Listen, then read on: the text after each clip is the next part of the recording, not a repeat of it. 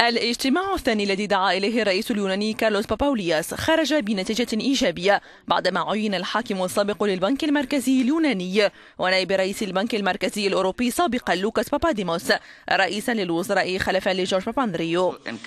الإعلان جاء بعد أن بات فيه اليونان على حافة هاوية اقتصادية ويعيش على ترقب سياسي وينتظر من رئيس الوزراء الجديد أن يخرج اليونان من أزمتها المالية وتجنيبها الإفلاس.